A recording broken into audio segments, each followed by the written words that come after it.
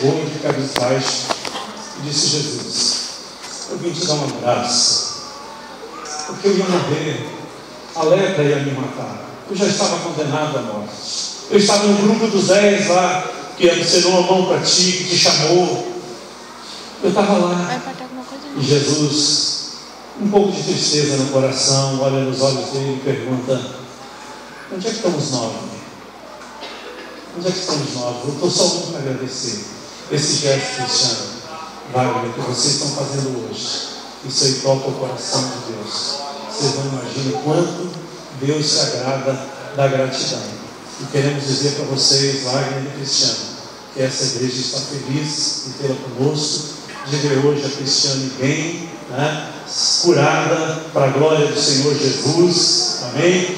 E ver o casal novamente vivendo o seu normal, com muita alegria, desfrutando da vida, amém?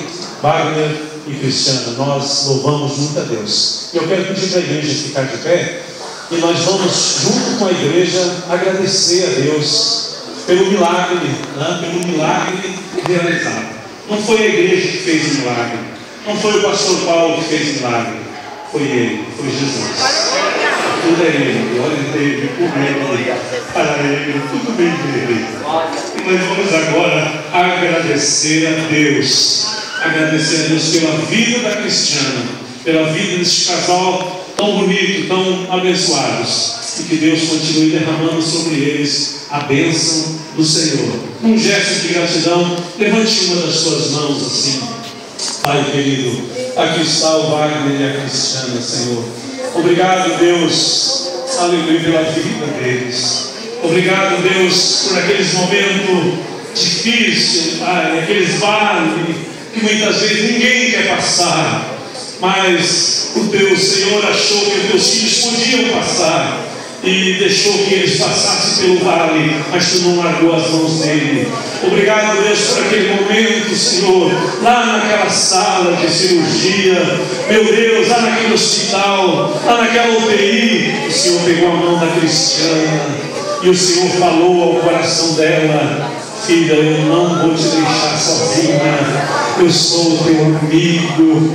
Aleluia, derramei o meu sangue na cruz por ti.